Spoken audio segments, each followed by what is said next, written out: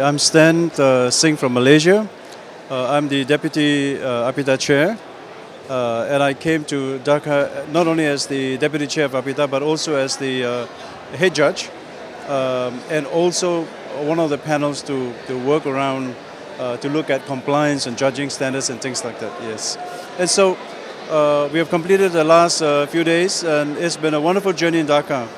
The whole event has been very great, yes. So, so, uh, so you you think it's it's been a great uh, journey to uh, come Bangladesh?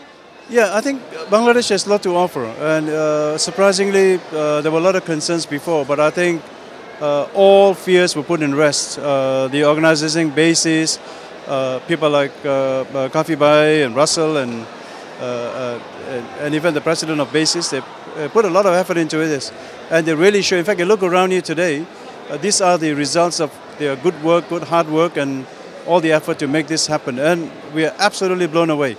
It's really glamour.